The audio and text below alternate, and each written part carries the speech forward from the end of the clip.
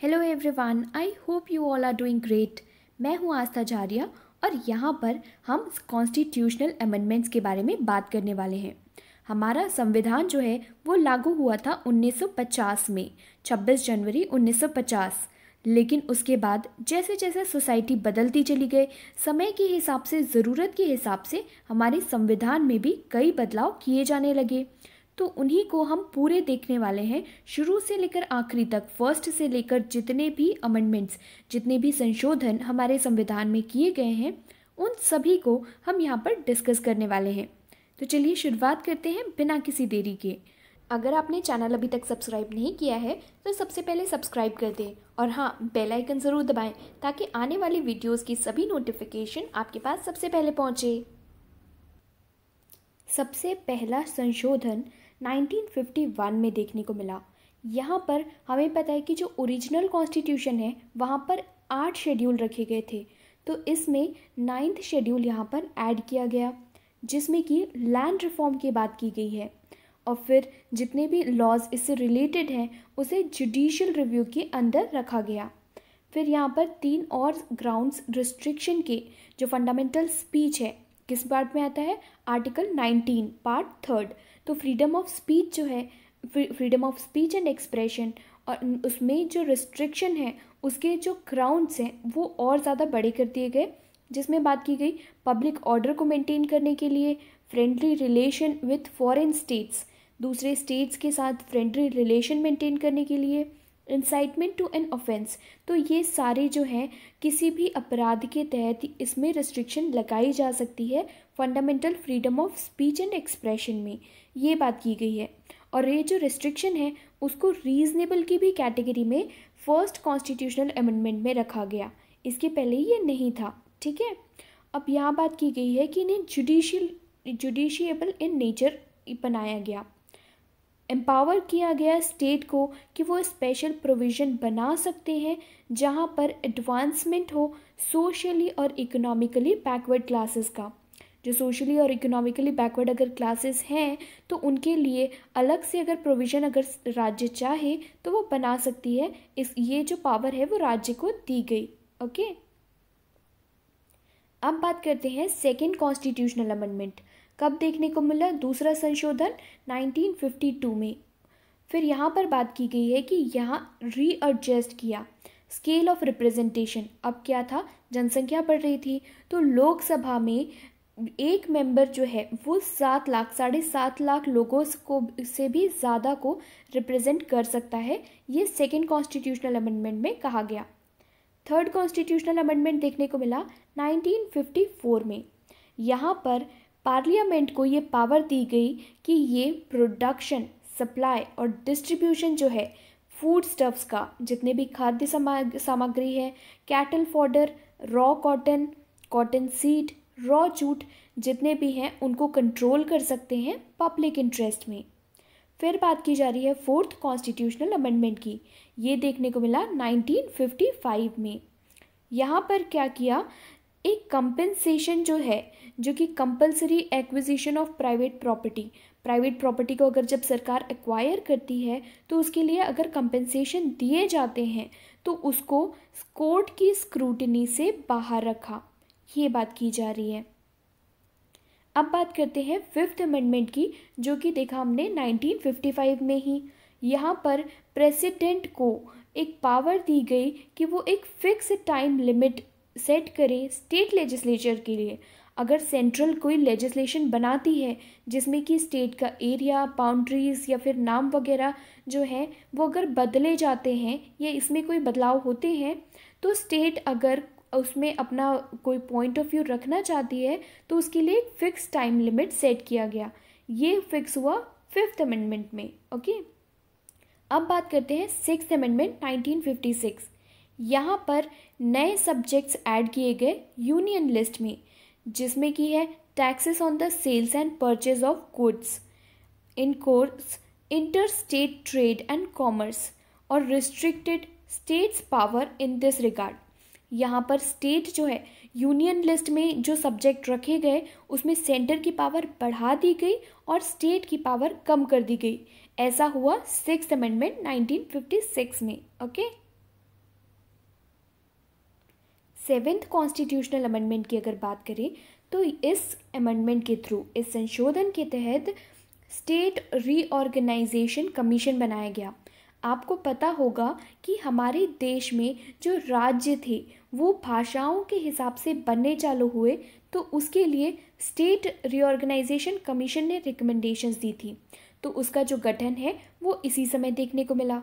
Provided establishment of common high court अगर दो या दो से ज़्यादा राज्य राज़ी हो जाते हैं तो उनके लिए एक कॉमन हाई कोर्ट बनाने की बात की गई।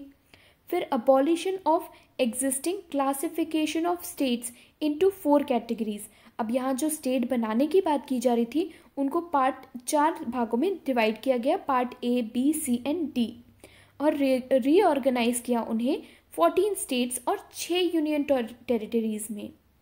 एक्सटेंड किया जुरिडिक्शन हाई कोर्ट का यूनियन टेरिटरीज में। ओके अब यहाँ बात की गई है एडिशनल और एक्टिंग जजेस जो हाई कोर्ट के हैं उनके भी अपॉइंटमेंट की बात इस अमेंडमेंट के थ्रू इसमें रखी गई, संविधान में रखी गई ओके एट्थ अमेंडमेंट एक्ट आया 1960 में। आठवां संशोधन जो था 1960 में देखने को मिला, क्योंकि देखिए ओरिजिनल कॉन्स्टिट्यूशन में S C S T special representation of Anglo Indians इन सब के रिजर्वेशन की बात की गई थी, लोकसभा और स्टेट लेजिस्लेटिव असेंबली में। लेकिन ये सिर्फ़ था दस सालों के लिए। इसे और दस साल आगे बढ़ा दिया गया अप टू 1970 तक के लिए। फिर 1960 में ही एक और नाइन्थ अमेंडमेंट देखने को मिला, जो कि सेसेशन ऑफ़ इंडियन टेरिटरी जो कि बेरूबारी एक जगह का नाम है वेस्ट बंगाल में। बेरूबारी यूनियन को पाकिस्तान बेरूबारी की जो टेरिटरी है, उसे पाकिस्तान को देने की बात की गई। यहाँ पर इंडो पाकिस्तान अग्रीमेंट हुआ 1958 में। उस समय बांग्लादेश जो है वो पाकिस्तान हुआ करता था। तो उस हिसाब से आप समझ सकते हैं। फिर टेंथ कॉन्स्टिट्यूशनल अमेंडमेंट आया 1961 में, जिसमें कि दादर और नागर हवेली, उसको इंडियन यूनियन में ऐड किया गया इनकॉर्पोरेट किया गया। इलेवेंथ अमेंडमेंट एक्ट 1961 में हमें देखने को मिला। ग्यारहवा संशोधन जिसमें कि इलेक्शन जो है वाइस प्रेसिडेंट का, उसके, उसमें बदलाव किए गए। जिसमें कि एक इलेक्टोरल कॉलेज बनाने की बात की गई, ना कि जॉइंट मीटिंग होनी चाहिए दोनों हाउसेस जो है पार्लियामेंट की उसमें। पहले हुआ करता था कि दोनों जो पार्लियामेंट है, वो जॉइंट मीटिंग करेंगी, फिर वाइस प्रेसिडेंट का इलेक्शन होगा।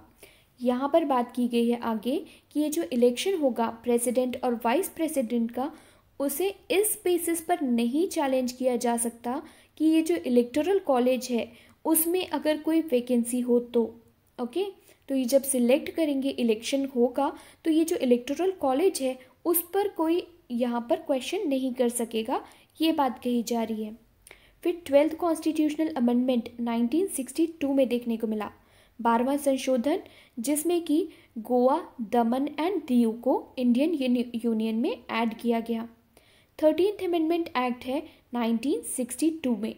अब ये यहाँ पर बात कर रहा है स्टेटस दिया गया स्पेशल स्टेटस नागालैंड को और इसके लिए स्पेशल प्रोविज़न जो है सॉरी यहाँ पर नागालैंड को स्टेट का दर्जा दिया गया और उसके उसके लिए स्पेशल प्रोविज़न की भी बात कही गई है। फिर फोर्टीन कॉन्स्टिट्यूशनल अमेंडमेंट देखने को मिला 1962 में, जिसमें पौंडीचेरी जो है, पुडुचेरी जिसे हम कहते हैं, वो उसे इंडियन यूनियन में ऐड किया गया। बात करते हैं फिफ्टींथ कॉन्स्टिट्यूशनल अमेंडमेंट एक्ट 1963 1963 में पंद्रवा संशोधन संशोधन देखने को मिला, जिसमें कि retirement age of high court जजेस बढ़ा दी गई 60 से 62 इयर्स कर दी। सिक्सटीन अमेंडमेंट एक्ट 1963 में देखने को मिला, उसी साल। जहाँ पर सोवरेनिटी और इंटीग्रिटी जो है ओथ्स एंड एफर्मेशन जो लेते हैं legislatures member of legislatures ministers जजेस और कैग ऑफ़ इंडिया इन सब के लिए जो यहाँ पर ओथ और एफर्मेशन होती है, उसमें सोवरनिटी और इंटीग्रिटी को ऐड किया गया। तो आप ये याद रख सकते हैं, कब ऐड किया गया? सिक्सटीन्थ अमेंडमेंट एक्ट 1963 के तहत। सेवनटीन्थ अमेंडमेंट देखने को मिला 1964 में। यहाँ पर प्रोहिबिट किया जा रहा है एक्विजिशन ऑफ़ लैंड की एक्वायर करने की जो बात की जा रही है under personal cultivation unless the market value of land is paid as compensation जब तक कि आप किसी की पर्सनल कल्टीवेशन लैंड अगर ले रहे हैं, उसकी मार्केट वैल्यू को कंपनसेशन नहीं दे रहे हैं उतना ही जितना कि मार्केट वैल्यू है तब तक आप वो किसी की लैंड जो है, वो अक्वायर नहीं कर सकते। स्पेशली ये जो कल्टीवेशन लैंड है ओके आगे बात की जा रही है एटीनथ अमेंडमेंट एक्ट 1966 की। 1966 में ही नाइनटीन्थ और ट्वेंटियथ अमेंडमेंट देखने को मिले हमें। तो यहाँ पर सबसे पहले एटीनथ में देखें तो यहाँ पर इसने क्लियर किया power of parliament to form new states also include power to form new states और union territory by uniting a part of state और union territory to another state और यूनियन टेरिटरी कहने का मतलब ये है कि जो पार्लियामेंट की पावर है, किसी को स्टेट को, नए स्टेट को बनाने की या किसी और स्टेट के साथ जोड़ देने की, ये सारी चीज़ें जो हैं बाद में ऐड की गई। नया स्टेट बनाना सिर्फ़ एक टुकड़ा अलग कर देना नहीं होगा। अगर दो स्टेट को मिलाकर एक स्टेट बनाया जा रहा है तो उसकी भी पावर यहाँ पर रखी गई। बाद में बात की जा रही है नाइनटीन अमेंडमेंट एक्ट जिसमें कि तो पहले जो इलेक्शन ट्रिब्यूनल्स हुआ करते थे, उन्हें हटा दिया गया और ये जो इलेक्शन से रिलेटेड जितने भी प्ली हैं, उनको सुनने का जो पावर है, वो हाई कोर्ट के ऊपर दे दिया गया। फिर ट्वेंटी अमेंडमेंट देखने को मिला। इसमें क्या किया गया? जो डिस्ट्रिक्ट जजेस हैं उत्तर प्रदेश में, उनका अपॉइंटमेंट जो है, वो डिक्लेयर कर दिया गया था वॉइड सुप्रीम कोर्ट के द्वारा। अब इस अपॉइंटमेंट को यहाँ पर वैलिड करार दिया गया है ट्वेंटी अमेंडमेंट में। आगे देखते हैं। ट्वेंटी फ़र्स्ट अमेंडमेंट एक्ट 1967 की अगर बात करें तो यहाँ पर सिंधी लैंग्वेज को फिफ्टींथ लैंग्वेज बनाया गया था एट्थ शेड्यूल के अंदर। हमारे संविधान में टोटल कितने? आठ शेड्यूल थे पहले, जो कि बाद में हो गए बारह। तो एट्थ शेड्यूल में जो लैंग्वेजेस की बात करते हैं हम तो उसमें सिंधी को इंक्लूड किया गया। ट्वेंटी सेकेंड अमेंडमेंट एक्ट 1969 अब यहाँ पर बात की जा रही है facilitated creation of new autonomous state of Meghalaya within the state of Assam तो आसाम से अलग करके यहाँ पर विद इन कहा गया है। आसाम के अंदर ही मेघालय को एक ऑटोनोमस स्टेट का दर्जा दिया गया था। यहाँ पर पूर्ण राज्य का दर्जा नहीं दिया गया था कि आपको याद रखना है। फिर बात की जा रही है ट्वेंटी थर्ड अमेंडमेंट एक्ट 1969 की। 1969 में ही ये अमेंडमेंट देखने को मिला संशोधन, जिसमें कि रिजर्वेशन जो है एस सी का, जो कि हमने पहले देखा था, जो कि दस साल एक्सटेंड हुआ था, उसे और ज़्यादा अगले दस सालों के लिए बढ़ा दिया गया। जो कि कर दिया 1980 तक के लिए, ओके? फिर आगे बात करते हैं twenty fourth constitutional amendment act, जो कि देखने को मिला हमें 1971 में। अब ये चौबीसवां संशोधन जो है, इसमें क्या कहा गया है? Affirmed the power of parliament to amend any part of the constitution including fundamental right यहाँ पर एक तरीके से फाउंडेशन क्रिएट कर दिया गया आगे जो एक मेजर अमेंडमेंट हमें देखने को मिलेगा।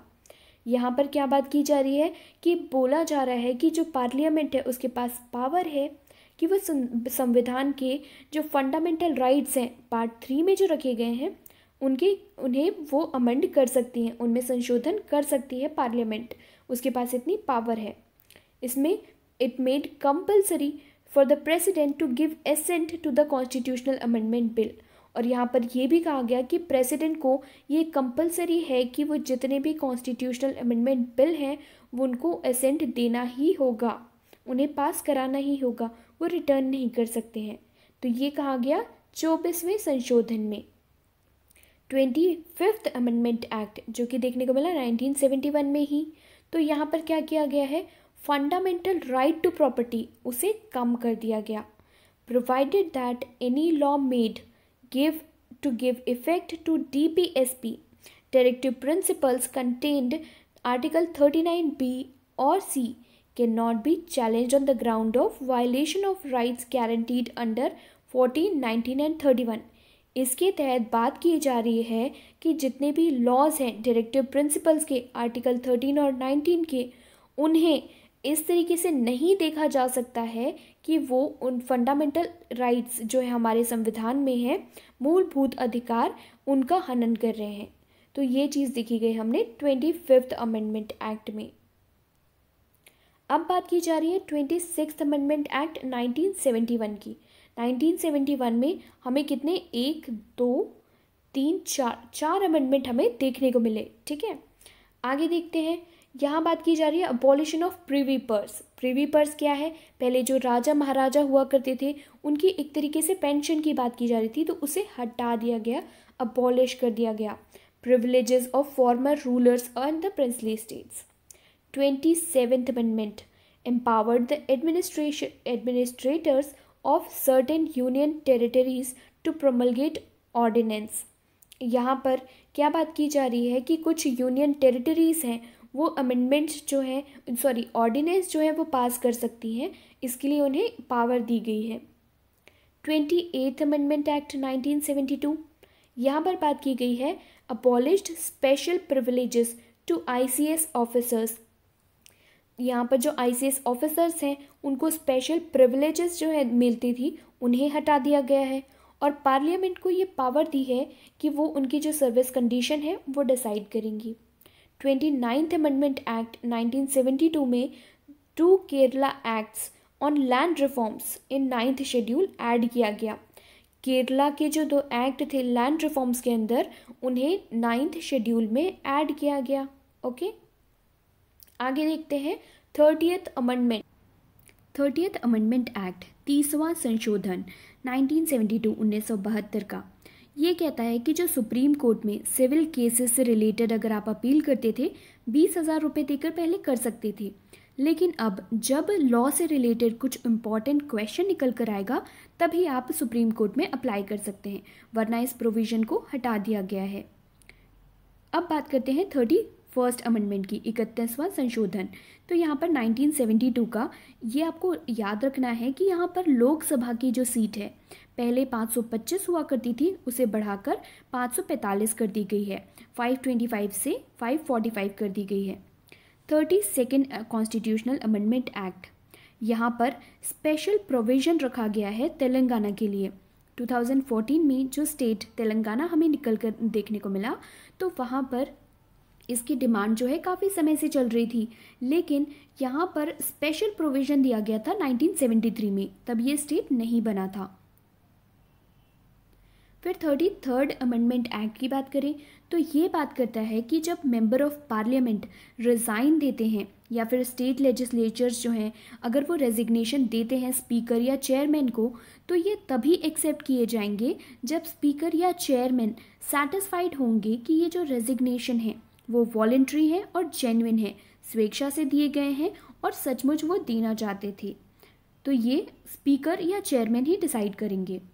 थर्टी फोर्थ अमेंडमेंट एक्ट 1974 का ये कहता है कि यहाँ पर land tenure land reforms act 20 और ऐड किए गए हैं और ये रखे गए हैं नाइन्थ शेड्यूल में।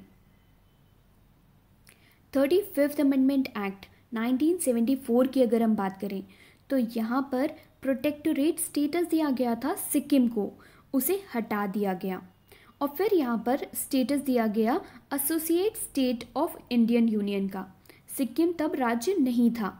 फिर टेंथ शेड्यूल ऐड किया गया और यहाँ पर टर्म्स एंड कंडीशंस रखी गई एसोसिएशन ऑफ़ सिक्किम के लिए, इंडियन यूनियन में के में शामिल करने के लिए।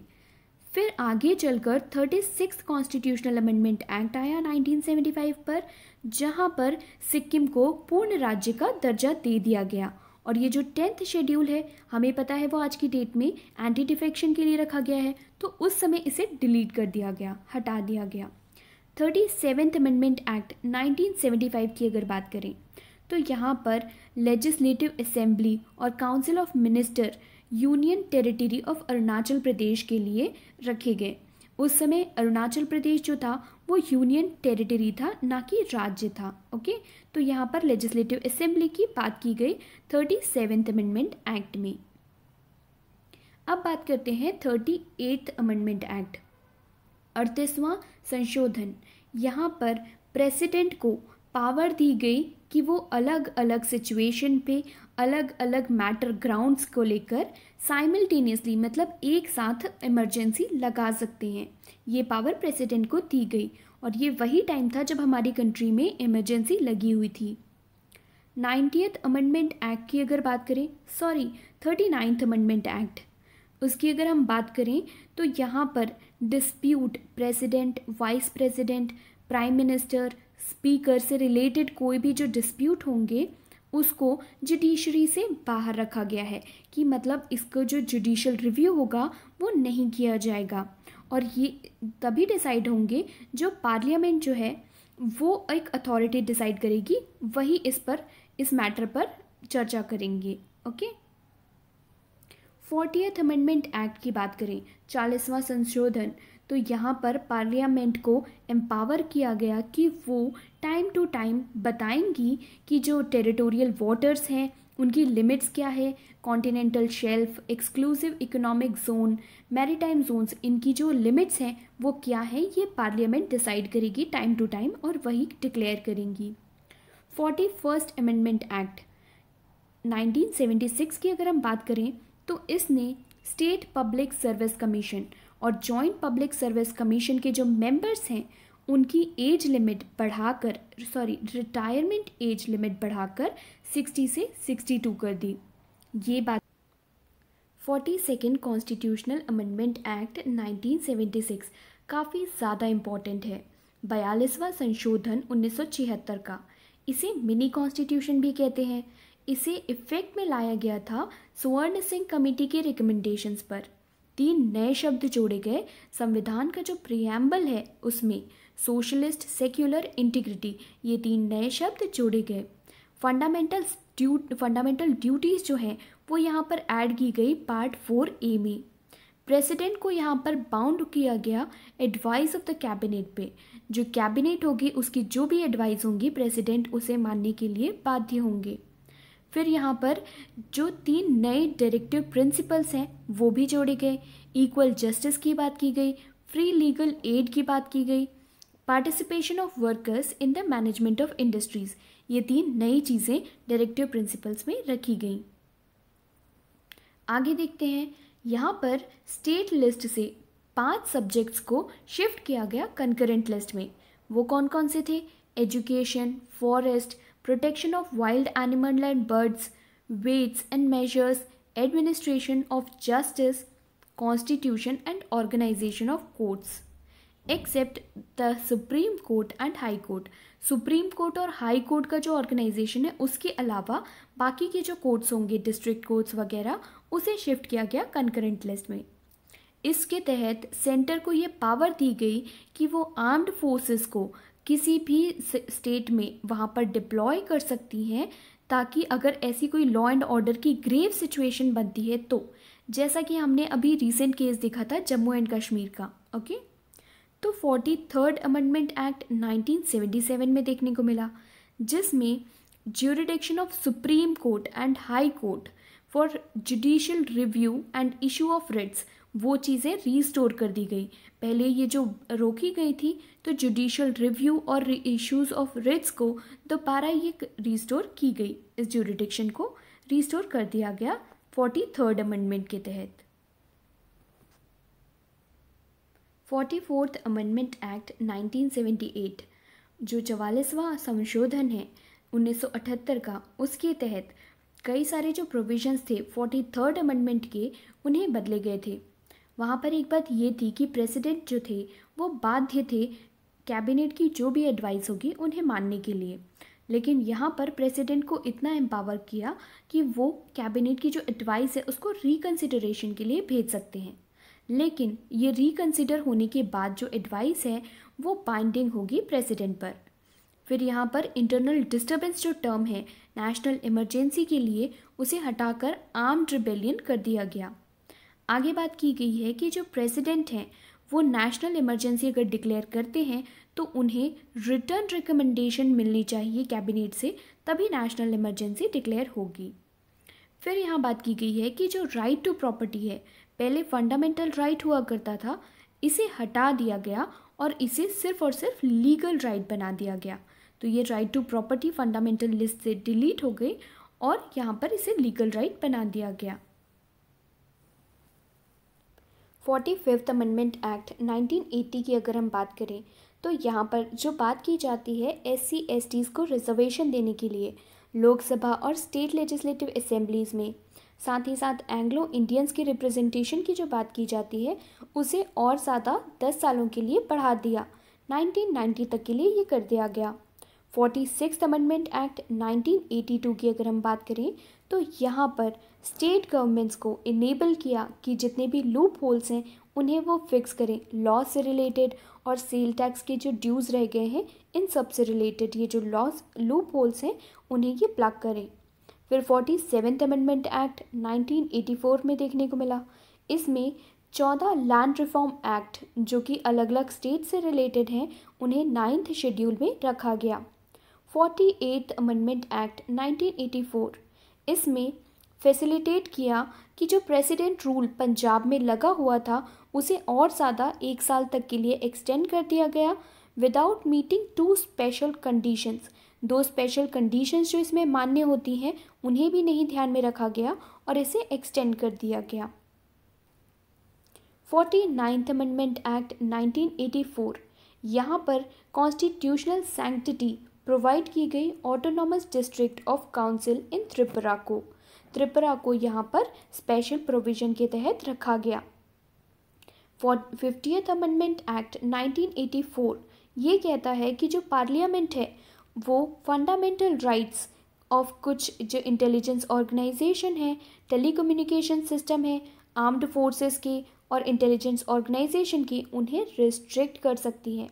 आपको पता होगा फंडामेंटल राइट्स जो हैं, हमारे जो आम नागरिक हैं, उनके अलग होते हैं और आर्म्ड फोर्सेस इंटेलिजेंट ऑर्गेनाइजेशन के थोड़े कम होते हैं। ये चीज़ आपको पता होगी फंडामेंटल राइट्स के चैप्टर में क्लियरली मेंशन है। फिर fifty fifth, fifty first amendment act 1984 की यहाँ पर बात करें तो reservation of seats in Lok Sabha for S in Meghalaya Arunachal Pradesh Nagaland Mizoram और legislative assemblies of Meghalaya and Nagaland की बात कर रहा है। Okay fifty second amendment act 1985 काफ़ी ज़्यादा इंपॉर्टेंट है। यहाँ पर एंटी डिफेक्शन लॉ की बात की जा रही है। जिसमें कि member of parliament state legislatures को डिसक्वालीफाई किया जा सकता है on the ground of defection आया राम गया राम वाला केस सुना होगा आपने कि अगर कोई मेंबर जो है, किसी एक पार्टी से सिलेक्ट होकर आता है इलेक्ट होकर सॉरी इलेक्ट होकर आता है तो वो किसी और पार्टी को अगर ज्वाइन कर लेता है तो वो डिफेक्शन की केस में उसे डिसक्वालीफाई किया जा सकता है। तो इसका प्रोविज़न जो है, वो टेंथ शेड्यूल में रखा गया हमारे संविधान में। फिर fifth, fifty third amendment act 1986 की अगर बात करें तो यहाँ पर स्पेशल प्रोविजंस रखे गए हैं मिज़ोरम के लिए और यहाँ पर स्ट्रेंथ फिक्स करी गई है असेंबली के लिए minimum forty members okay fifty fourth amendment act 1986 इसकी अगर हम बात करें तो यहाँ पर सुप्रीम कोर्ट और हाई कोर्ट के जो जजेस हैं, उनकी सैलरीज बढ़ा दी गई। साथ ही साथ पार्लियामेंट को ये पावर दी गई कि वो आगे किसी ऑर्डनरी लॉज के तहत इसे बदल सकती हैं। फिफ्टी फिफ्थ अमेंडमेंट एक्ट 1986 यहाँ पर स्पेशल प्रोविज़न अरुणाचल प्रदेश के लिए रखा गया और असेंबली की मिनिमम स्ट्रेंथ 30 मेंबर्स फिक्स की गई। फिफ्टी सिक्स अमेंडमेंट एक्ट 1987 की अगर बात करें तो यहाँ पर गोवा लेजिस्लेटिव असेंबली के लिए मिनिमम स्ट्रेंथ फिक्स की गई 30 members okay fifty seventh amendment act 1987 की अगर बात करें तो यहाँ पर सीट्स रिज़र्व की गई एस के लिए legislative assembly of state Arunachal Pradesh Meghalaya Mizoram और नागालैंड के लिए। Eighty eight sorry fifty eight amendment act 1986 यहाँ पर अथॉरिटेटिव टेक्स्ट जो हैं कॉन्स्टिट्यूशन के हिंदी लैंग्वेज में उन्हें सेम लीगल सैंक्टिटी प्रोवाइड की गई। हिंदी वर्जन का जो कॉन्स्टिट्यूशन है, हिंदी वर्जन का जो हमारा संविधान है, उसके लिए। फिफ्टी नाइन्थ अमेंडमेंट एक्ट 1988 की हम अगर बात करें तो यहाँ पर नेशनल इमरजेंसी पंजाब में डिक्लेयर किया जा सकता है on the ground of internal disturbance ये चीज़ यहाँ पर कही गई है। सिक्सटीथ अमेंडमेंट एक्ट 1988 की अगर हम बात करें तो यहाँ पर जो सीलिंग है, taxes on professions trade callings employments को बढ़ाकर 250 पर एनम से 2500 पर एनम कर दिया गया। सिक्सटी फ़र्स्ट अमेंडमेंट एक्ट 1989 की अगर हम बात करें तो यहाँ पर वोटिंग एज को रिड्यूस करके ट्वेंटी फ़र्स्ट ईयर से एटीन ईयर्स किया गया लोकसभा और स्टेट लेजिस्लेटिव असेंबली के लिए। ये चीज़ काफ़ी इंपॉर्टेंट है, ये आपको याद रखनी है। सिक्सटी फ़र्स्ट अमेंडमेंट एक्ट जिसके तहत वोटिंग राइट्स जो हैं 21 साल से घटाकर 18 साल कर दी गई थी। सिक्सटी सेकेंड अमेंडमेंट एक्ट 1989 की अगर बात करें तो यहाँ पर reservation of seats for S and S और special representation for Anglo Indians Lok Sabha, state legislative assembly को और बढ़ा दिया गया अगले दस सालों के लिए। तो आप कुछ इस तरीके से ट्रिक से याद कर सकते हैं कि 89 में दस सालों के लिए बढ़ाया तो 2000 तक कर दिया गया। इसके पहले भी हमने पिछले तीन चार बार देख लिया है कि ये जो पीरियड है, वो बढ़ता ही गया दस दस सालों के लिए, ओके? तो कुछ ट्रिक लगाकर आप याद कर सकते हैं। सिक्सटी थर्ड अमेंडमेंट एक्ट 1989 यहाँ पर बात की गई है जो पंजाब से रिलेटेड एक प्रोविज़न रखा गया था इमरजेंसी प्रोविज़न के लिए फिफ्टी नाइन्थ अमेंडमेंट एक्ट 1988 में। उसे हटा दिया गया है और यहाँ पर वह बाकी जो स्टेट हैं, उसकी तर्ज पर ही प्रोविजंस रखे गए हैं। फिर सिक्सटी फोर्थ अमेंडमेंट एक्ट 1990 की अगर बात करें तो प्रेसिडेंट रूल जो है पंजाब में, वो period of three years six months तीन साल और छः महीने के लिए एक्सटेंड किया जा सकता है, ये कहा गया। सिक्सटी फिफ्थ अमेंडमेंट एक्ट 1990 यहाँ पर एस सी के लिए जो एक स्पेशल ऑफिसर हुआ करते थे, उसे हटाकर एक मल्टी मेंबर नेशनल कमीशन बनाने की बात की गई है। किसमें? सिक्सटी फिफ्थ अमेंडमेंट एक्ट में। काफ़ी इंपॉर्टेंट है, याद रखिएगा। अब बात की जा रही है सिक्सटी सिक्स अमेंडमेंट एक्ट की। यहाँ पर पचपन और लैंड रिफॉर्म्स एक्ट अलग अलग स्टेट्स के लिए नाइन्थ शेड्यूल में रखे गए। फिर सिक्सटी सेवेंथ अमेंडमेंट एक्ट 1990 की बात करें तो प्रेसिडेंट रूल जो पहले हमने देखा, वही पंजाब के लिए total period of four years चार साल के लिए एक्सटेंड किया जा सकता है, ये बात यहाँ पर रखी गई है। वही चीज़ आगे चलकर 1991 में पाँच साल के लिए कर दी गई। किसके द्वारा? सिक्सटी एट्थ अमेंडमेंट एक्ट के द्वारा। सिक्सटी नाइन्थ अमेंडमेंट एक्ट 1991 यहाँ पर स्पेशल स्टेटस दिया गया है यूनियन टेरिटरी ऑफ़ दिल्ली को। और इसे national capital territory of Delhi ऐसा डेजिग्नेशन दिया है। तो ये चीज़ आप याद रख सकते हैं, काफ़ी इंपॉर्टेंट है सिक्सटी नाइन्थ अमेंडमेंट एक्ट 1991 अब बात करते हैं सत्तरवें संशोधन की। सेवेंटियथ अमेंडमेंट एक्ट 1992 यहाँ पर जितने भी लेजिस्लेटिव असेंबलीज, दिल्ली और पुडुचेरी, ये दोनों यूनियन टेरिटरी हैं, लेकिन इनकी लेजिस्लेटिव असेंबलीज भी हैं। तो इन्हें प्रेसिडेंट के इलेक्शन में जो इलेक्टोरल कॉलेज होते हैं, जो कि इलेक्शन के दौरान पार्टिसिपेट करते हैं, उसमें शामिल करने की बात की गई। वैसे बाकी जो यूनियन टेरिटरीज़ हैं, वो शामिल नहीं होती हैं, ये आपको पता ही होगा। तो ये किसके द्वारा किया गया? सेवेंटियथ अमेंडमेंट एक्ट 1992 के द्वारा। आगे बात की जा रही है, सेवेंटी फ़र्स्ट अमेंडमेंट एक्ट 1992 यहाँ पर कोंकणी, मणिपुरी, नेपाली लैंग्वेज को एट्थ शेड्यूल में रखा गया। तो आपको ये चीज़ याद रखनी है कि नेपाली जो लैंग्वेज है, वो भी एट्थ शेड्यूल में है। तो यहाँ पर total number of languages, scheduled languages बढ़कर कितनी हो गई? Seventieth seventy second amendment act 1992 यहाँ पर एस के लिए रिजर्वेशन की बात की गई है लेजिस्लेटिव असेंबली ऑफ़ त्रिपुरा में okay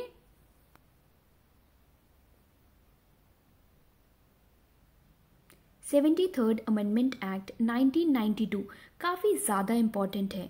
इसके तहत हमारे देश में जो थ्री टायर सिस्टम है, उसे संवैधानिक मान्यता दी गई।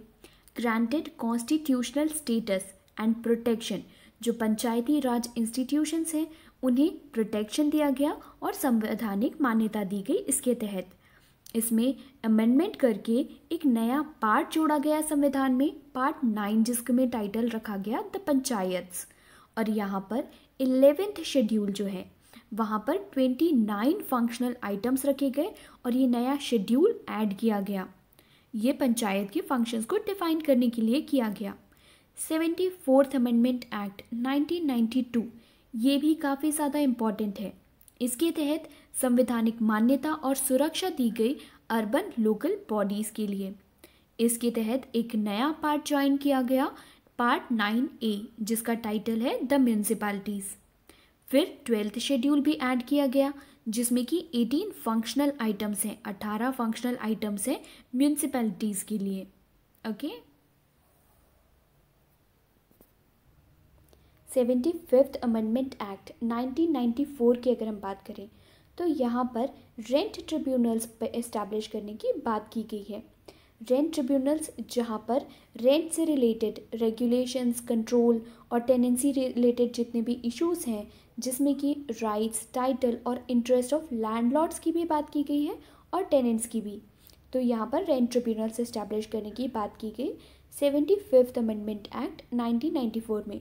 ये चीज़ रिपीट हो गई है यहाँ पर। आगे देखते हैं seventy seventy six amendment act 1994 यहाँ पर तमिलनाडु रिजर्वेशन एक्ट 1994 लेकर आया गया, जिसमें कि रिजर्वेशन के जो सीट्स हैं, एजुकेशनल इंस्टीट्यूशंस में और स्टेट सर्विसेज़ की जो पोस्ट हैं, उसमें ये जो रिजर्वेशन का परसेंटेज है, वो सिक्सटी नाइन परसेंट कर दिया गया। नाइन्थ शेड्यूल में इसे रखा गया और जुडिशल रिव्यू से बाहर इसे रखा गया।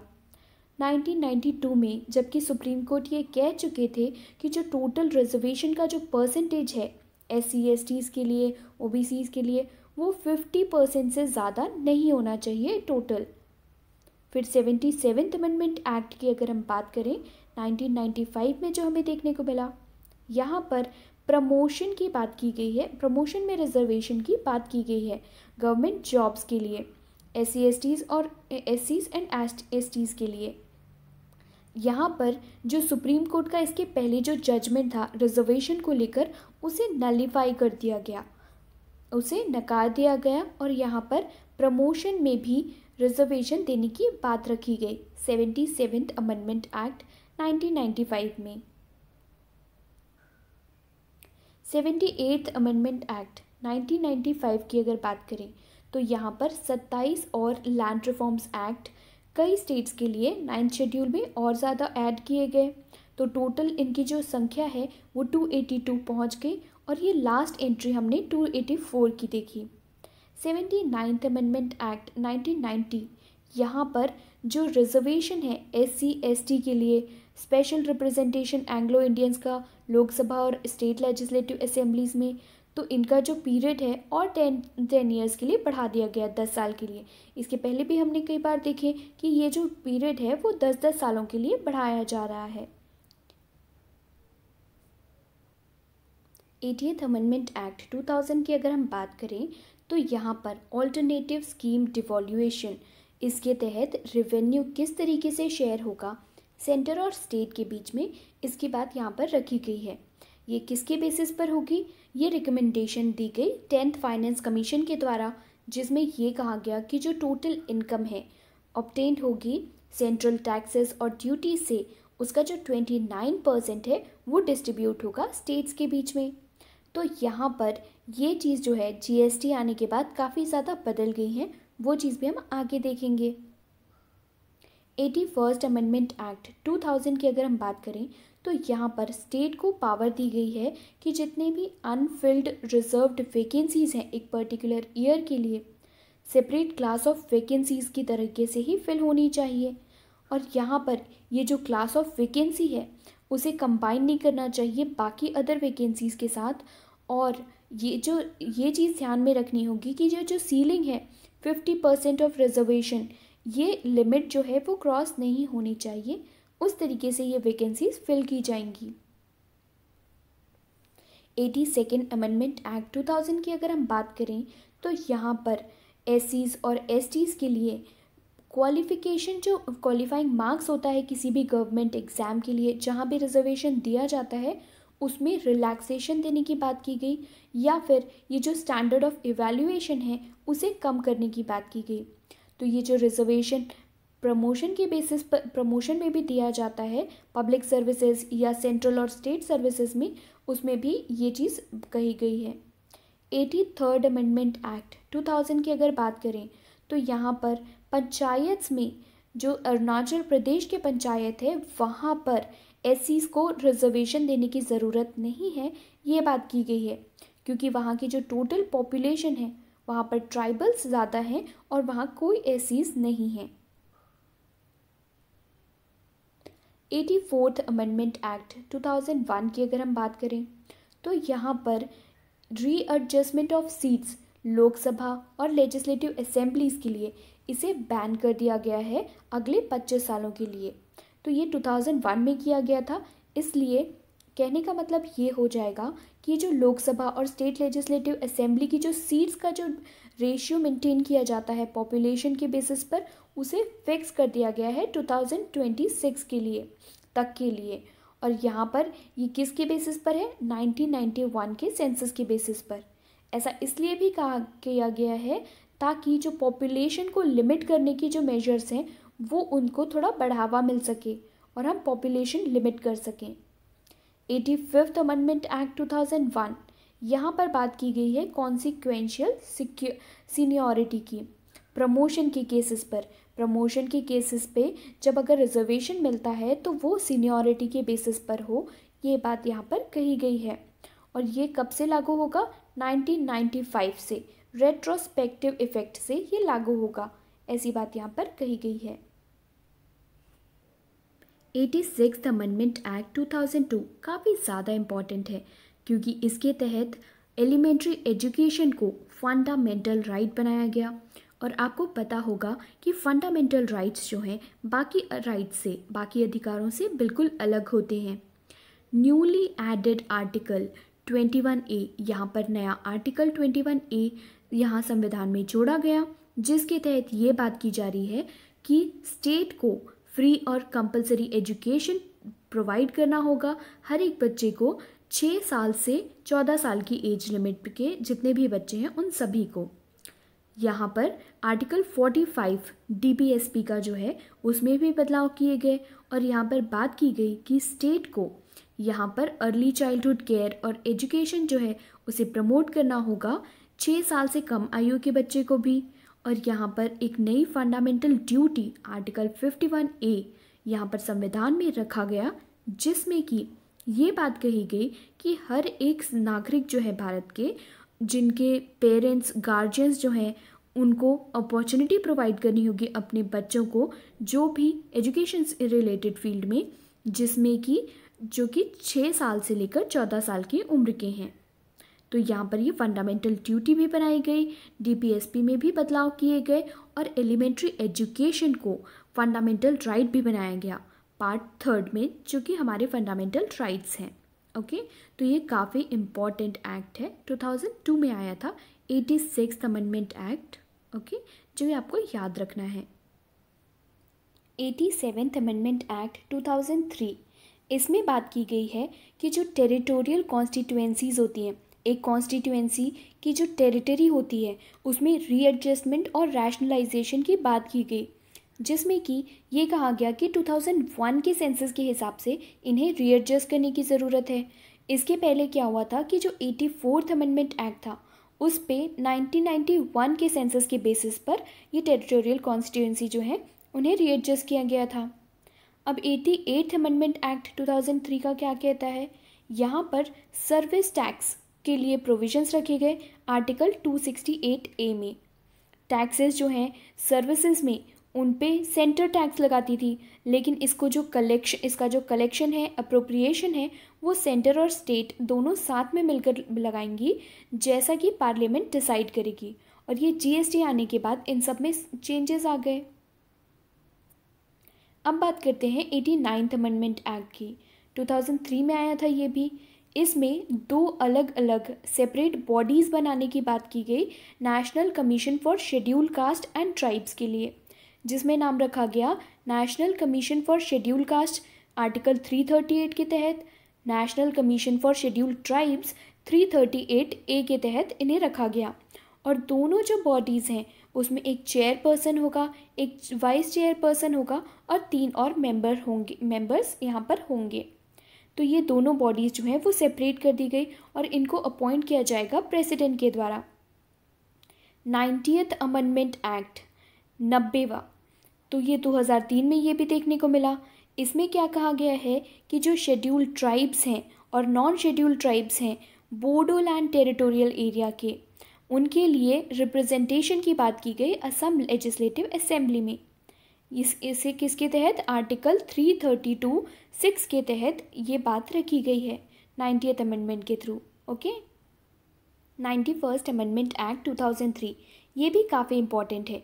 यहाँ पर बात की जा रही है कि जो नंबर ऑफ़ मिनिस्टर्स हैं इंक्लूडिंग प्राइम मिनिस्टर ये चीज़ याद रखिएगा सेंट्रल काउंसिल ऑफ़ मिनिस्टर में ये चीज़ जो है पंद्रह परसेंट से ज़्यादा टोटल स्ट्रेंथ ऑफ़ लोकसभा नहीं होनी चाहिए। मान लीजिए कि लोकसभा में पाँच सौ मेंबर्स हैं तो उसके जो फिफ्टीन परसेंट होगा, उससे ज़्यादा यहाँ पर काउंसिल ऑफ़ मिनिस्टर्स जो हैं वो नहीं हो सकते हैं।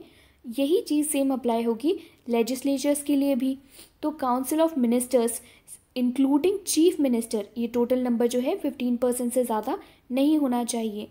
ये चीज़ यहाँ पर कही गई है।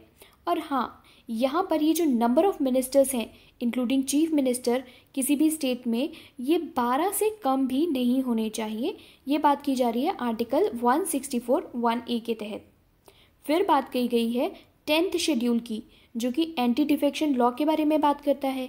यहाँ पर एक छूट दी गई है एक मामले में कि अगर एक तिहाई सदस्य जो हैं किसी भी लेजिस्लेचर में पार्टी के, वो अगर कट कर किसी और पार्टी में जा रहे हैं, तब उस केस में उसे एंटी डिफेक्शन नहीं लागू होगा। यहाँ पर एक प्रोटेक्शन यहाँ पर दिया गया है, ओके? तो ये डिफेक्टर्स जो हैं, उस केस में बचे, बच जाएँगे। Ninety second constitutional amendment act 2003 यहाँ पर बात की जा रही है कि जो एट्थ शेड्यूल है, वहाँ पर चार और नई भाषाएँ रखी गई। ये कौन कौन सी थी? बोडो डोगरी, डोंगरी भी जिसे हम कह सकते हैं, मैथिली और संथाली। ये चार भाषाएँ जो शेड्यूल्ड लैंग्वेजेस हैं, उसमें ऐड की गई। तो ये कॉन्स्टिट्यूशनली रिकोगनाइज लैंग्वेजेस होती हैं, जिन्हें संविधान के द्वारा रिकोगनाइज किया गया है। यहाँ पर अब टोटल भाषा जितनी है, वो कितनी हो गई? बाईस हो गई। फिर यहाँ पर बात की जा रही है नाइन्टी थर्ड अमेंडमेंट एक्ट 2005 की।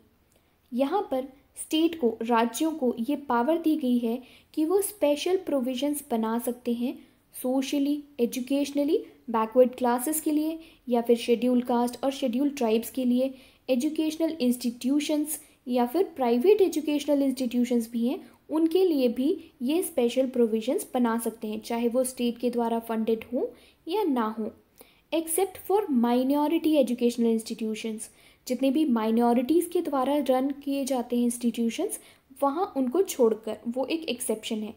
ये कहाँ पर रखा गया है?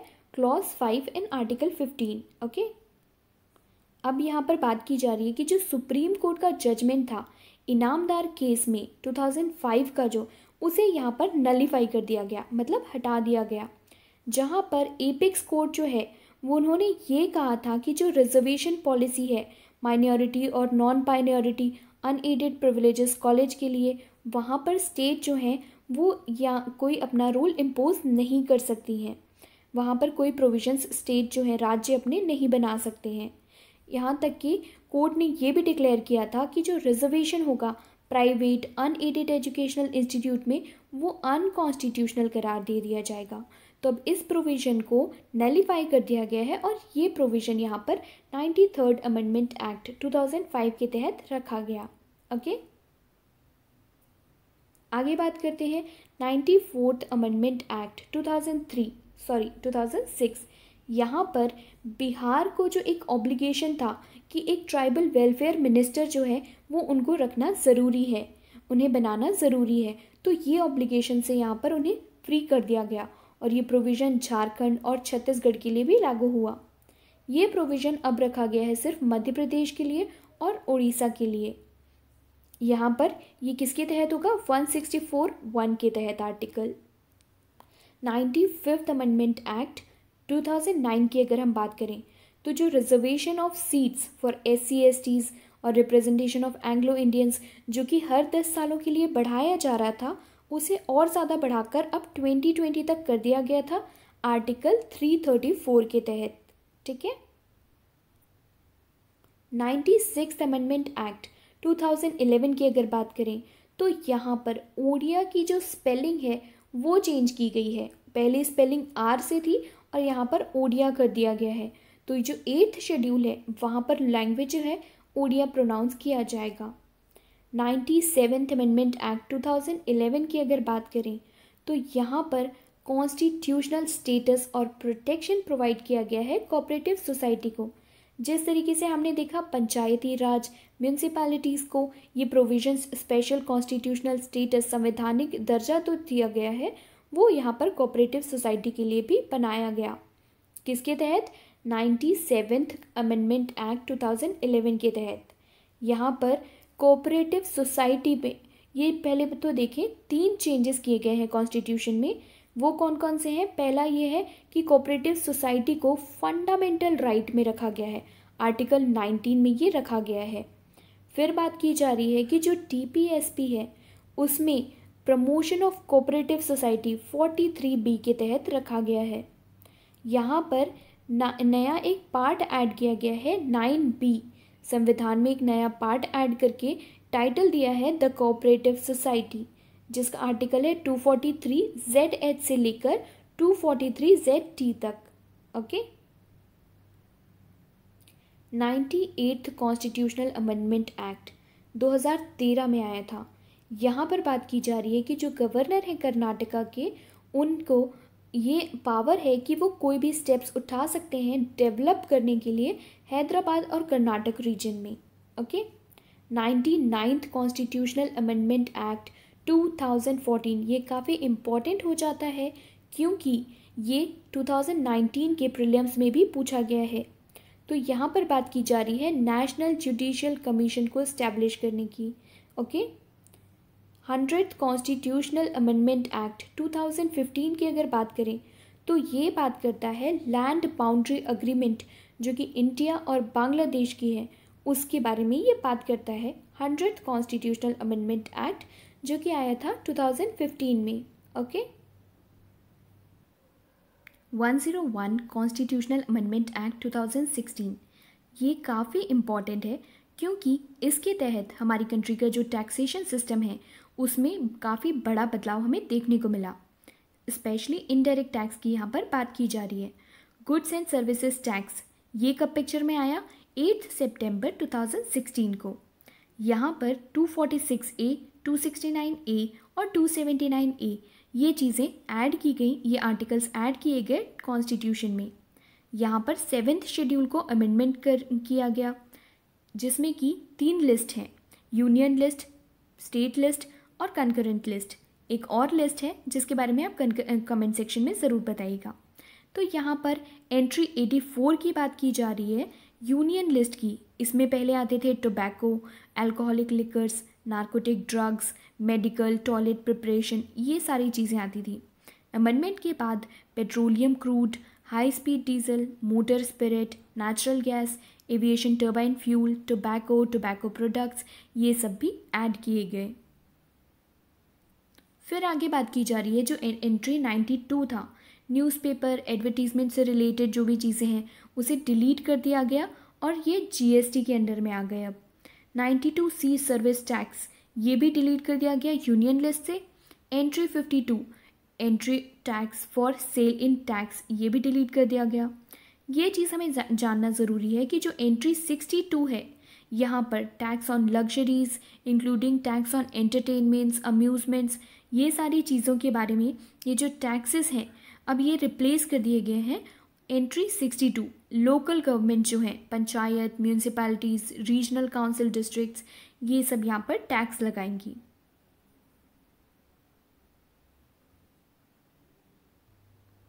One zero second constitutional amendment act 2018 यहाँ पर कॉन्स्टिट्यूशनल स्टेटस देने की बात की गई है national commission for backward classes के लिए।